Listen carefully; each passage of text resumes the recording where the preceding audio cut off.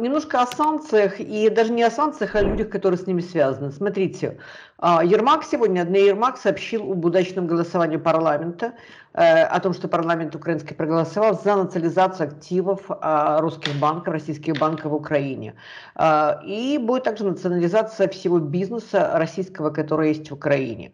А можно было сколько бы, ну и, конечно, шестой пакет санкций. Можно сколько угодно а, там диск, э, дискутировать о частной собственности, о каких-то там, да, там вещах, но все дело в том, что, как мне кажется, российские а, там Форбсы, да, первая там тридцатка, сотни и так далее, это именно те люди, которые взрастили, наполнили кровью и плотью и энергией вот этого монстра, который называется Путин. Вот, это, вот этого дедушку с пледиком на военном параде, которого мы видели последний раз, который 24 а, февраля бомбил большую европейскую страну там, в 12 местах или в 14.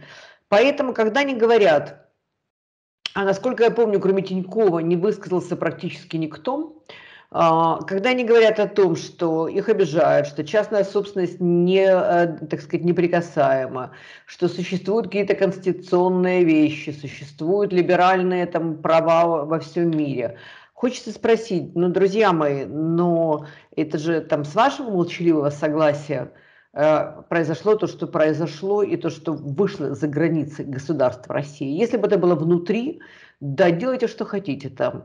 Но, но это же вы поддержали этот режим и поддерживали всегда. Согласны ли вы вот с такой позицией?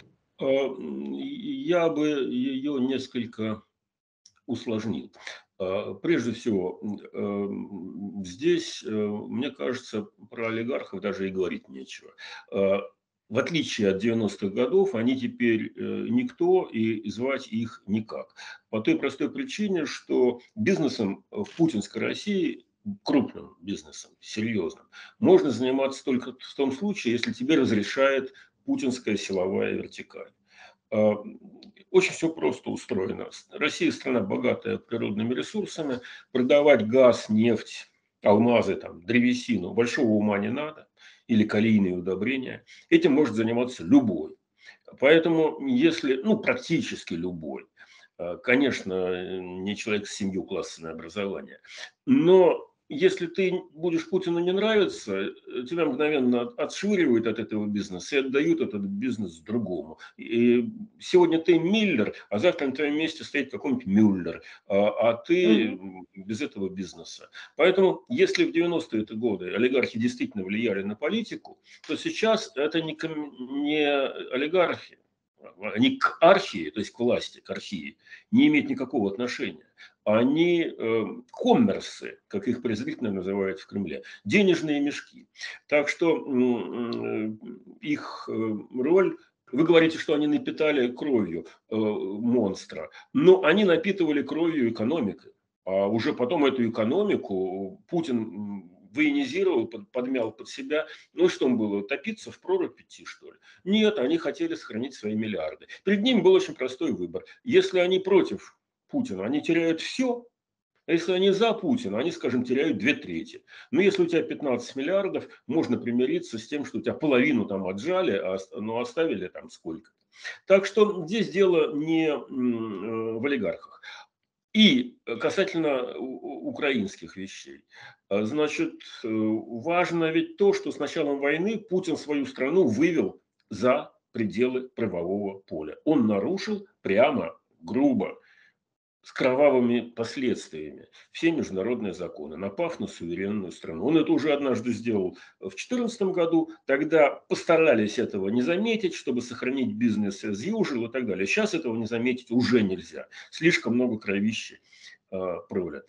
А, так что жаловаться на какие-то там нарушения законов мирного времени э, просто бессмысленно. И я здесь напомню еще одну важнейшую историю.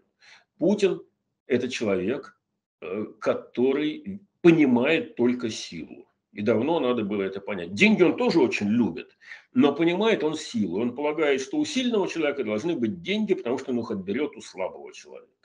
Он себя считает сильным. И когда, например, отжали бизнес у Михаила Ходорковского и посадили его на 10 лет, это был акт э, сильного человека. То есть Путин показал, что он сильнее Ходорковского, умнее, дальновиднее, циничнее, э, прагматичнее. Просто взял и отжал бизнес, а хозяина посадил.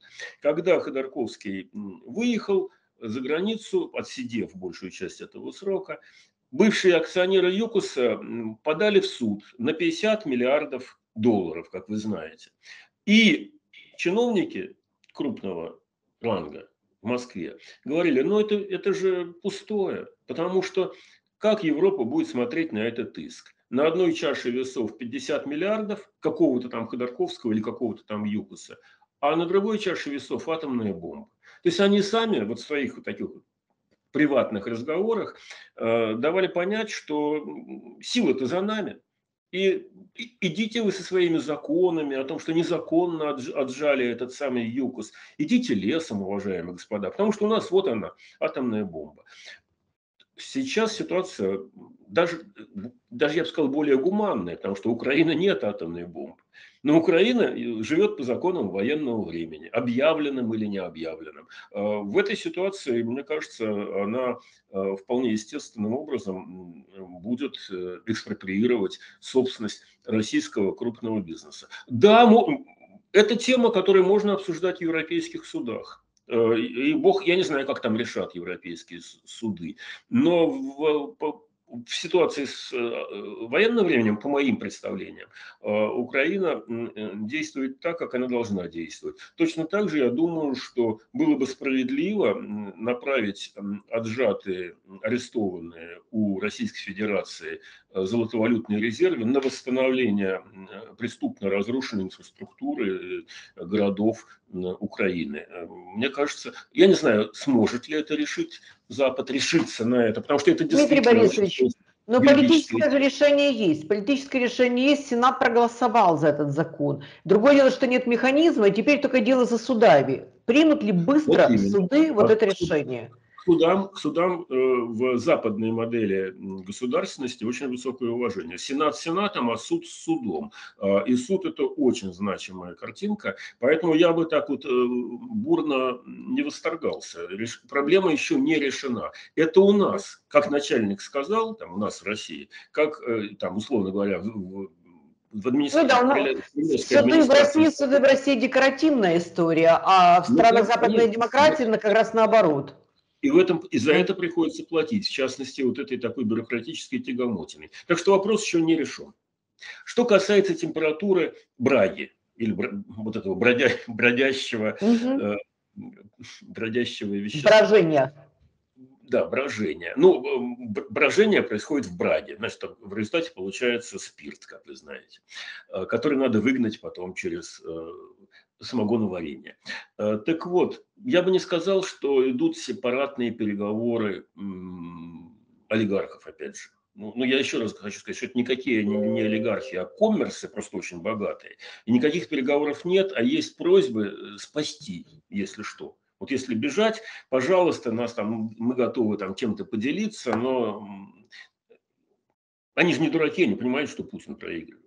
Но хотелось бы куда-то сбежать со своими деньгами, желательно получить какую-то защиту, чтобы тебя не отравили как Скрипаля, и чтобы не отобрали все деньги. Вот, собственно, это, не, это называется не переговоры, это называется условия бегства.